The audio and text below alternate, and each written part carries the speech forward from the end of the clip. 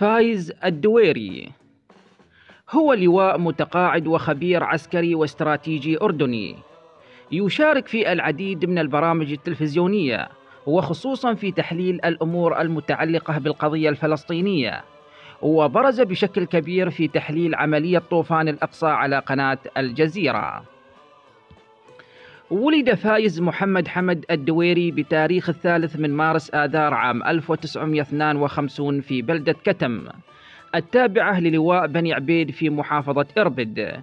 درس الابتدائية فيها ثم أكمل المرحلة الإعدادية في النعيمة. والمرحلة الثانوية في الحصن. درس في الكلية العسكرية في الفترة ما بين عام 1972 وحتى عام 1973 وتخرج منها برتبة ملازم ثاني. التحق بعد التخرج بسلاح الهندسة الملكي الأردني وشارك في عملية نزع الألغام على الحدود الأردنية السورية. انتقل إلى اليمن في الفترة ما بين عام 1977 و 1979 حيث شارك مع القوات المسلحة اليمنية برتبة ضابط هندسة في تحصينات مضيق باب المندب وبناء معسكر خالد في الحديدة. انضم في عام 1979 إلى جامعة اليرموك على نظام الدراسة المسائية حيث درس إدارة الأعمال.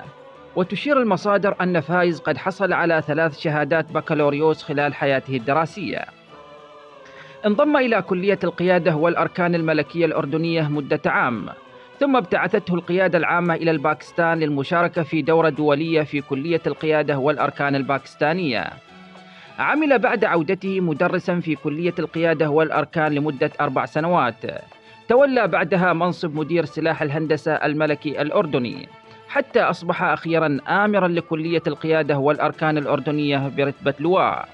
ثم أحيله للتقاعد انضم بعدها إلى الجامعة الأردنية حيث حصل على درجة الدكتوراه في فلسفة التربية وكان عنوان أطروحته دور الجامعات الرسمية في تعزيز مفهوم الأمن الوطني.